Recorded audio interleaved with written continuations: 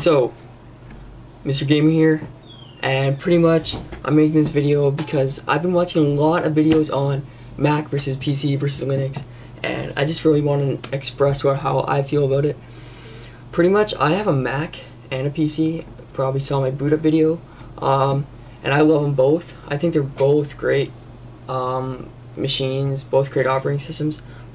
Um, I'm running Vista and Leopard OS X. So I don't know. I haven't ran Linux, but I wouldn't expect it to be all that great. I don't know. I can't give my opinion because I haven't um, used it. Um, I've watched a lot of videos of it and it doesn't look too bad, but I don't know.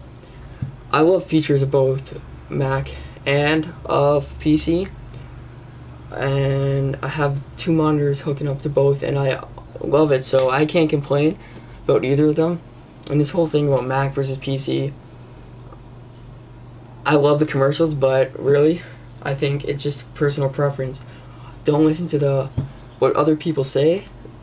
Try them both out and decide whether you like it. So that's how I feel about it. And if you guys have any comments about what you think, which one is better, Mac, PC, or Linux, comment.